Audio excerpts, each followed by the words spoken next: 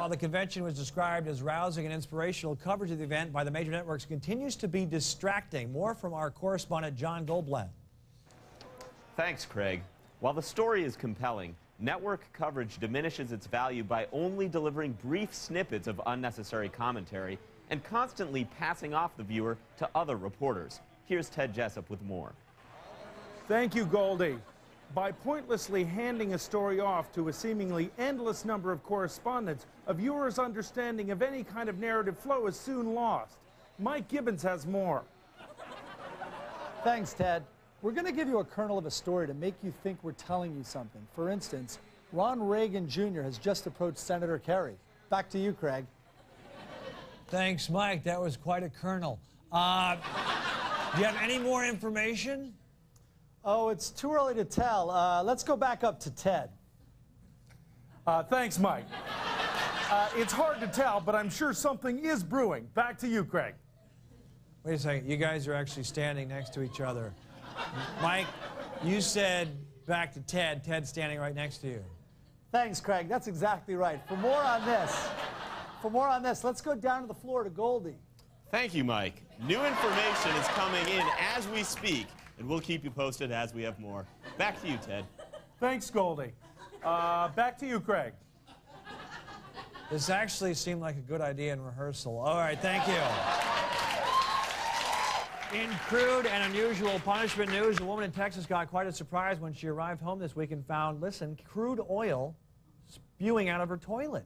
We are getting uh, breaking news that the U.S. Marines have just invaded that woman's bathroom. Uh, let's go to our reporter, Justin Thomas, who's on the scene. Justin?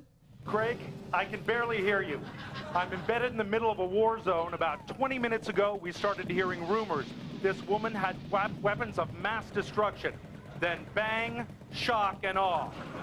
And domestic goddess Martha Stewart has been found guilty on four counts ranging from conspiracy to obstruction of justice. Our correspondent Justin Thomas is at the courthouse. Justin, what's the mood like there? Awesome! We got her, man! We nailed her! Mm, this feels good! Yes! Wait, hold on. Hold on, Justin. It seems like you're letting your personal feelings get in in the way of a good story. This is a complex case. The charges were actually, you know, against her, and it was very difficult. Craig, when something this beautiful happens to someone you hate so much, you don't question it. You savor it. You relish it. You roll it around in your mouth and jiggle it like tomato pasta. Yeah, thank you. So here now is our favorite leprechaun, Lefty O'Toole. Hey, uh, Lefty, Lefty, how are, how are people celebrating? Name your poison, Craig. Hearts, clovers, bathtub crystal meth dyed green for the festivities. We're brain damaged.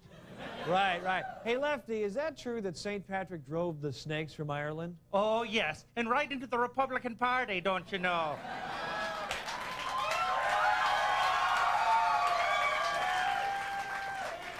I kid the Republicans because I'm drunk and unemployed. Yeah. Yeah, I, I, can see why. Do you have any advice for people going out to celebrate tonight? Ah, oh, yes, I do. If you see a six-five leprechaun, buy him a beer, take him home, and have your way with him. And if you're a female, more's the better. Yeah. Lefty O'Toole.